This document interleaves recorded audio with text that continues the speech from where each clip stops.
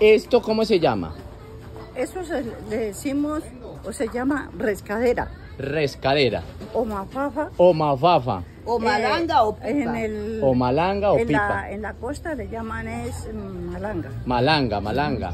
O mafafa. Mafafa, sí. Mafafa, ¿cómo prepara usted la mafafa? Bueno, la mafafa la coge usted, la pela, La pela, como pelando una yuca. Pero Exactamente. entonces la, la va a pelar es así. así, de abajo para, No, de arriba, arriba para abajo, para para abajo. listo. Ella tiene unos ojitos. Ella tiene unos ojitos, Esos ojitos usted se los quita se los quita. y, y la pica.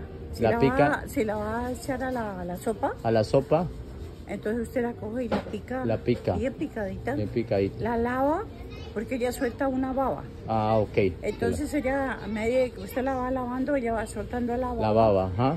Y si usted ve que, que no la puede no la puede seleccionar bien así, entonces a lo que ya le saca bien unas cuatro aguas, Ajá. entonces coge y le echa un poquito de sal en seco Ok. y la estrega ¿Para así. qué le sirve la mafafa? La mafafa sirve para alimento. Alimento. Eso tiene calorías. Calorías, Sí. sirve para la- el colon también, para Para el desinflamar colon, el colon, sí. para el estreñimiento. Ajá, porque ella es ella es blandita. Es blandita, Es, si se quiere saber, es más blandita que la papa. es más blandita que la papa. Ok, o sea que sirve, nos ayudaría mucho para el colon. Sí, ella es Y un...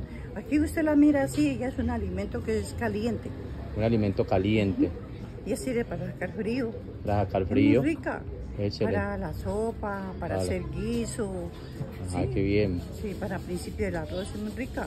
Ok, muchísimas gracias. Bueno,